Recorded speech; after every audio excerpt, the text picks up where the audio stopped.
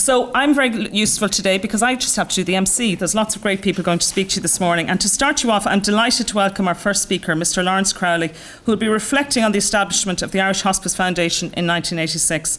So Mr. Crowley, a key figure in Ireland's financial scene, played an important role in the early years of the Irish Hospice Foundation working alongside our, some of our fellow board members here today and our founder, Dr. Mary Redmond. So, fundraising in the 1980s was a challenge, much like it is today. But Mr. Crowley and their committee threw themselves into the work with an array of projects and events which enabled the IHF to meet their tough goals. So, to tell you more about these early years, I'd like to invite Mr. Crowley to speak.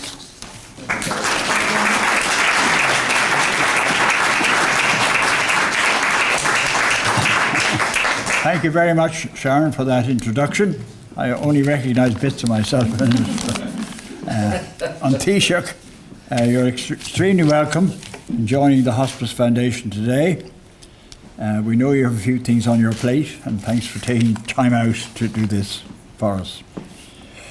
In 2016, as Sharon has said, the Hospice Foundation celebrates a major milestone as it marks the 30th anniversary of enhancing end of life care for the people of Ireland. Thank you. It adopted the powerful vision that no one should face death or bereavement without the, the care and support they need. And that has stood the test of time, uh, that vision for the uh, IHF. The remarkable foundation, which has brought about major changes in the end of life care, was the vision of the late Dr. Mary Redmond, a most inspirational woman. Uh, she was inspired to establish the IHF following the death of her father at uh, Harold's Cross in 1985. At that time, there was only one hospice in Ireland.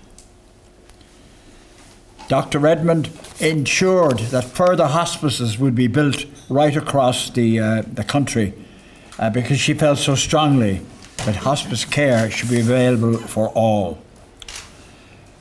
The Hospice Foundation was set up in April 1986. At its core was the philosophy that the life of a dying person should be made worth living to the end, so that peaceful death becomes an achievement not a defeat. This still remains the core philosophy of the Irish Hospice Foundation. One of the first issues which the Foundation had identified was that the purpose of hospitals was to treat and cure patients and return them to their family and their homes. Dealing with terminally ill patients was in some cases regarded as being a secondary part of the health service that they were offering and not career enhancing.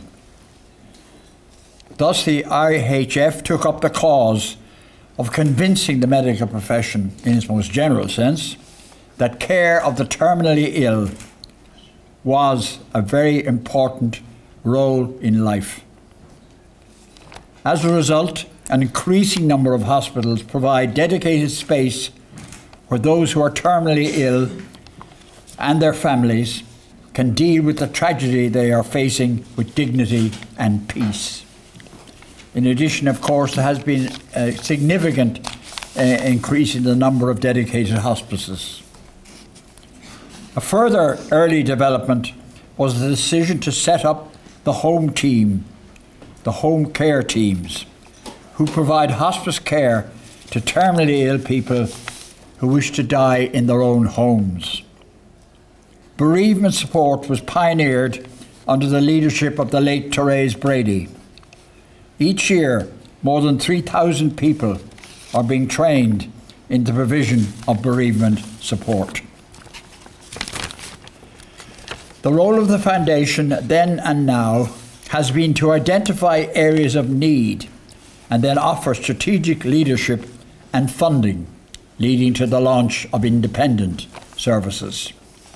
In this way, the IHF has established itself as a pioneer and a key driver in the development of better end of life and palliative care in Ireland. the bravery, courage, and forward thinking of Mary Redmond and those who had the foresight to back her led to the extension of better care to many thousands of people at the end of their lives. But the journey doesn't end here. Over the last 30 years, the foundation has achieved more than we could have imagined when it was founded. And in a way, this journey is still in its early stages. Right now, every person in Ireland can expect to have a dignified death. Not everybody gets to achieve the type of death they want, but everyone deserves to die with dignity and comfort. And the Irish Hospice Foundation, as it marks its 30th anniversary, continues to stride towards this goal.